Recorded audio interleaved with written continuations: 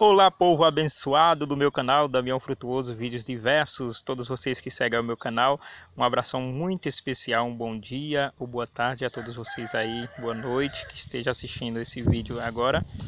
Um abração, que o Senhor possa te abençoar grandemente. Estarei gravando este vídeo para mostrar aqui no meu quintal, ele tem apenas 6 metros de, de largura por 7 de comprimento, e estarei mostrando tudo que eu tenho plantado aqui nesse pedacinho de chão. Mas antes de iniciar este vídeo, estar mostrando para vocês, peço você carecidamente, deixe o seu joinha aí nos meus vídeos, você que não é inscrito, se inscreva aí no meu canal para que ele possa crescer mais e mais. Desde já quero dizer para você que esse canal meu, assim como tem o nome Vídeos Diversos, ele é vídeos diferentes. Às vezes eu coloco um vídeos de adoração, ao Senhor, hinos, às vezes vídeos gravados louvando, adorando ao Senhor e também alguns vídeos legais que eu tenho, eu gosto de compartilhar também nesse canal. O nome já diz, Damião Frutuoso, vídeos diversos que o Senhor possa te abençoar. Amém? Então vamos lá. Esse que eu estou mostrando para você aqui é um pé de amora. Ele, além da fruta dele ser bem gostosa, as folhas dele também servem para chá, né, que tem vários benefícios seu chá. Depois, se você quiser pesquisar aí no YouTube, você vai encontrar os benefícios do chá da folha da mora. Como você pode ver, essa daqui já está florando já. Ó. ó. Aqui, aqui já é a frutinha da mora. Ela está bem carregada. Aqui também, ó. Aqui, ó.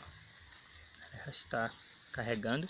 E esse interessa folha aqui, como você pode ver, não sei se vocês conhecem aí no lugar de vocês, como é que vocês conhecem aí, ela é a malva santa. Essa daqui é de um formato diferente, que eu tenho outra também que é de outra forma. Aqui é a malva santa, muitos usam para fazer lambedor para pessoas que estão gripado, com tosse, né, com catarro no peito, isso aqui é muito bom para fazer o lambedor. E essa outra daqui é o pé de colônia. Ela muito boa também, o chá dela é muito bom tem vários benefícios também o seu chá. Eu gosto muito de tomar o chá dela, é um gosto bem diferente, um gosto bem gostoso mesmo. Tenho certeza que você vai gostar. Então vamos lá? Aqui como já tenho mostrado para vocês, aqui é meus pés de morango, né? Em meio aos pés de morango aqui também tem um pé de pimenta, que é a pimenta de cheiro. Não sei se vocês já ouviram falar aí no lugar de vocês o nome pimenta de cheiro. E aqui é um pé de abacaxi. Esse pé de abacaxi ainda tá novo, é isso. Que daqui, creio, daqui uns seis meses mais ou menos é que ele vai começar a colocar o abacaxi. Esse eu não sei se vocês conhecem aí na região de vocês, aqui é o pé de andu né? Andu é um tipo de feijão, né? Olha o tamanho que ele já está, mas ainda não está florando ainda. Vou estar mostrando para vocês também um pé de melancia, que é daquelas comprida, que ela não é daquelas redondas não. Ele plantei aqui no meu quintal, pensei que não ia brotar nada não, mas veja só. Olha só, querido. Aqui é o pé de melancia aqui no meu quintal. Veja só o tamanho da melancia já, ó aqui tem uma, duas, três, quatro, quatro melancia aqui no meu quintal. Aqui também os meus pés de cana. Aqui tem esse, tem aquele dali. Eu sempre gosto de deixar eles bem limpinho. Tiro todas as palhas secas. Aqui é o conhecido pé de macaxeira.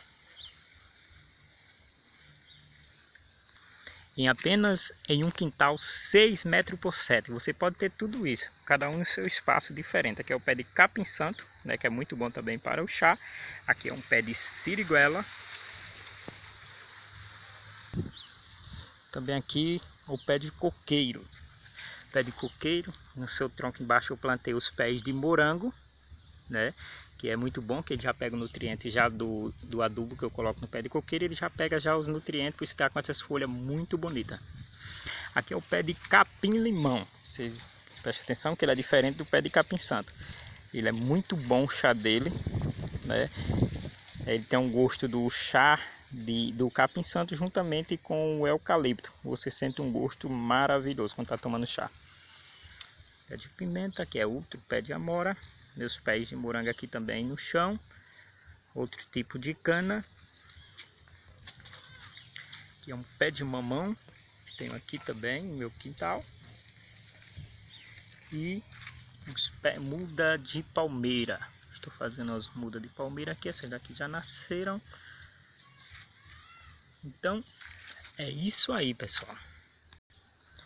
Se vocês gostaram desse vídeo, não esqueça de deixar o seu joinha aí e se inscrever no meu canal, você que não é inscrito. Que Deus te abençoe grandemente.